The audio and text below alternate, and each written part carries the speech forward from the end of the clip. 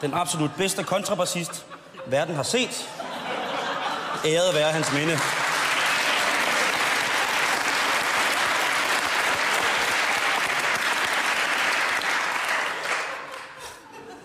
At Peter Olbæk så er skabt tilfældigvis det samme sted, det skal dog hverken ligge Niels Hennings minde eller Osted til last, vil jeg have lov at mene. Nu nævner jeg, og som det blev nævnt utrolig mange gange, så er det fantastisk mange film, du har lavet.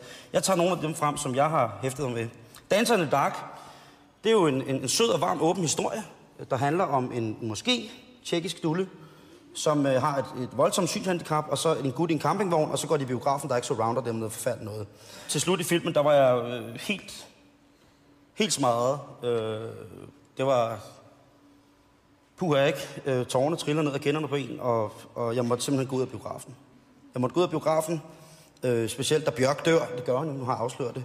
Øh, der fik jeg det decideret, altså der fik jeg det decideret skidt. Jeg var helt færdig. Kender ikke det? Altså når man griner så meget, at øh, når, man, når man har grint så meget i så lang tid, at, og altså virkelig har haft, været ramt af den brede folkekomedie, øh, har jeg ikke grinet så meget siden op på fars hat, og, øh, og hvad hedder det, Schindlers liste. Øhm, hvad hedder det, øh, der, der, der, der måtte jeg gå, og det skal du alligevel have tak for. Øh, specielt efter, som jeg har været med i øh, Slim Slam og Slum, og hvor du sørgede for, at den eneste, der var med i Slim Slam og Slum, der nogensinde har fået noget fisse, det er Gry Bay. Men øh, tak for Hotman og Cool Boys. Øh, jeg havde Jeg vidste, jo du ikke kunne lide den. jeg havde jo i mit stille sind håbet, at at Danserne Dag var efterfølgeren, men øh, ja, sådan er der jo så meget.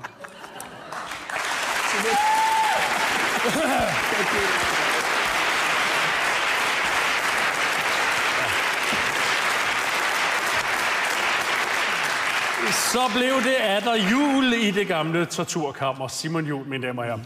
Peter Aalbæk, du er Danmarks svar på George Bush. Vi er alle sammen enige om, at du aldrig skulle have haft al den magt, som du har. Men i aften som æresgæst, der har du taget imod i en grad sig selv en uskyldig, uvidende 19-årig skuespillerinde, der har været en fejl blev ansat på Centropas Pussy Power-projekt.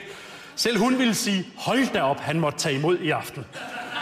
Det er nu tid til, at du selv får muligheden for at takke for de mange ord. Mine damer og herrer, vores hyldsgæst, Peter Aalbæk.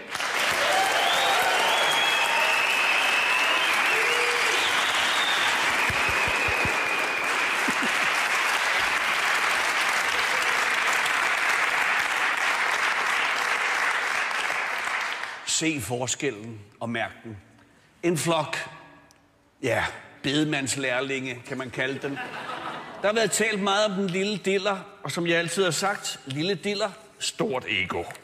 Det er absolut så Guds fortjeneste, at man altid sørger for at kompensere, hvor han har været for smålig, ikke? Og jeg ved godt, at man burde have det dårligt omkring den lille diller, men jeg har det væsentligt dårligere med mine knæ, ikke? Jeg har det meget dårligt med mine knæ. Jeg har også haft det skide dårligt ved at se kraft med en reinkarnation af min første spejderleder stå her fandme nu iført skæg. Jan Gindberg, på trods af skægget, så er du fandme spejderlederen over alle spejderledere. Det er du altså. Brian Mørk, jamen herre Gud.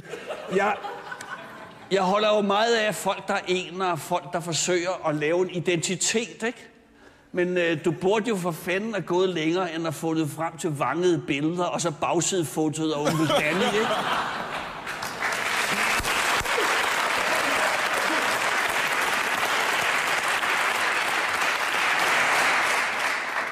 Henrik, jeg gælder en krammer.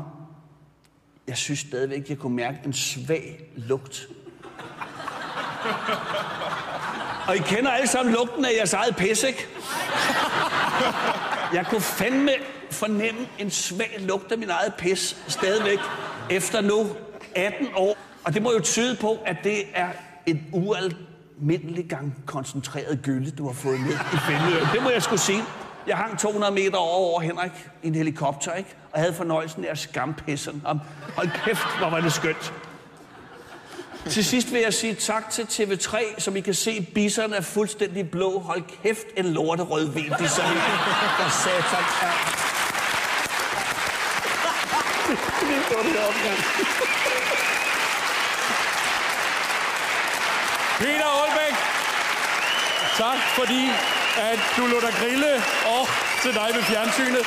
Tak fordi du kiggede med og støttede Peter på hans vej igennem skærsilden. Så bliver næste gang, vi griller en stor kendt dansker. Tak for den her gang. Annette Heik, hun har øh, givet mig en lang perlerække af smukke orgasmer. Ser dine forældre det her program? Ja, ja, ja, ja. Hermed vil jeg gerne sige tusind tak til jer alle sammen.